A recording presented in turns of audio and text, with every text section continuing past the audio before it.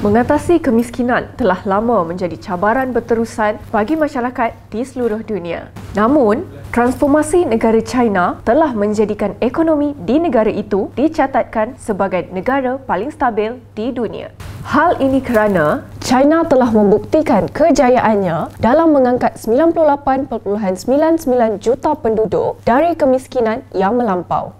Malah ia juga telah menunjukkan kemiskinan serantau secara keseluruhan telah dihapuskan. Di antara 15 buah negara membangun yang berpenduduk paling ramai di dunia, China telah berjaya menurunkan kadar kemiskinan terbesar di dunia. Malah sejak China diumumkan Sebagai negara yang berjaya mengeluarkan penduduk miskin, banyak negara menyatakan hasrat untuk belajar dari pengalaman China yang berjaya. Oleh itu, China telah mengeluarkan kertas putih yang bertajuk Poverty Alleviation China's Experience and Contribution.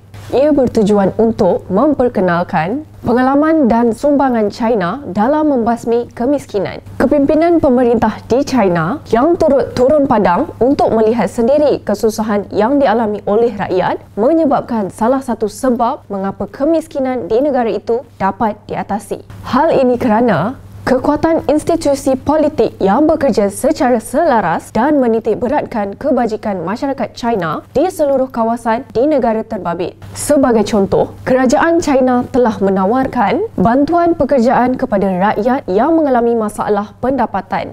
Ini kerana dengan kaedah begitu dapat membantu rakyat untuk keluar dari masalah taraf hidup yang rendah. Dalam pada itu juga, China menegaskan pendekatan praktikal dan realistik melalui langkah-langkah yang disasarkan. Selain jaminan makanan dan pakaian yang mencukupi, jaminan akses kepada pendidikan wajib, perkhidmatan asas, keselamatan perumahan dan air minum untuk penduduk luar bandar yang miskin juga sudah ditunaikan. Ia bertujuan untuk mencipta lebih banyak lagi keajaiban, pembangunan dan kemajuan ekonomi di negara ini sekaligus memastikan rakyat di negara China dapat membangun dan sejahtera dalam semua aspek.